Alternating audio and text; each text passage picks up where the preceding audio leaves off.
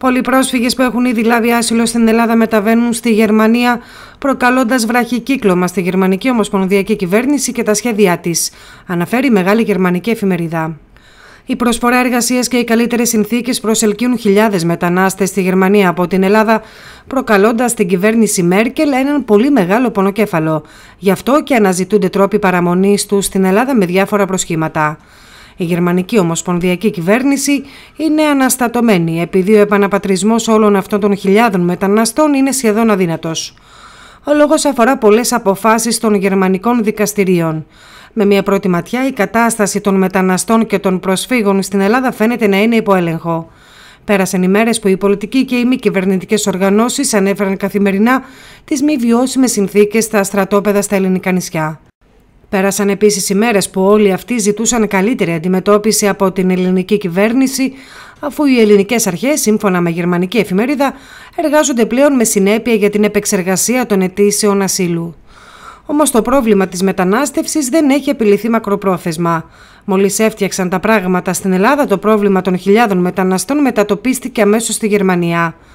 Όπως ανέφερε το Γερμανικό Υπουργείο Εσωτερικών σε μια πρόσφατη απάντηση σε ερώτηση αριστερού κόμματος στη Βουλή, ο αριθμός των ετούντων ασύλου στη Γερμανία που έχουν ήδη λάβει χαρτιά στην Ελλάδα αυξάνεται σταθερά δραματικά, αναφέρει η γερμανική εφημερίδα. Στη Γερμανία και σε άλλες πληγήσεις χώρες της Ευρωπαϊκής Ένωσης αντιμετωπίζεται ένα δίλημα. Είναι σχεδόν σίγουρο ότι η Αθήνα θα δεχθεί μεγάλες πιέσεις από το Βερολίνο το αμέσως επόμενο διάστημα, ώστε να βρεθεί μία φόρμουλα για να παραμείνουν όλοι αυτοί οι μετανάστες στην Ελλάδα.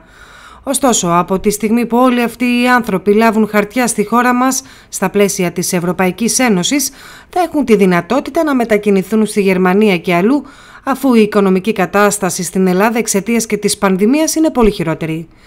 Οι ελληνικές αρχές δεν πρέπει σε καμία περίπτωση να ενδώσουν στα όποια ύποπτα σχέδια του Βερολίνου, αφού στο κάτω-κάτω της γραφής οι περισσότεροι μετανάστες στην Ελλάδα επιθυμούν να μεταβούν στη Γερμανία και στις χώρες του Βορρά, που πρώτες ζήτησαν την είσοδο μεταναστών στην Ευρώπη για να ρίξουν το μισθολογικό κόστος στις βιομηχανίες τους.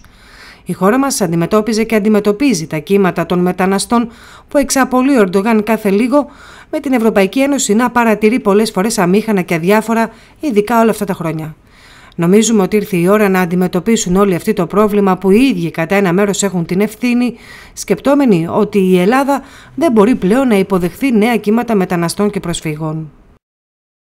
Ευχαριστούμε που μας παρακολουθήσατε. Αν σας άρεσε αυτό το βίντεο μπορείτε να κάνετε like και εγγραφή στο κανάλι μας για να λαμβάνετε πρώτοι όλες τις νεότερες εξελίξεις. Μην ξεχνάτε να μας κάνετε σχόλια με την άποψή σας, καθώς η γνώμη σας είναι πολύ σημαντική για εμάς.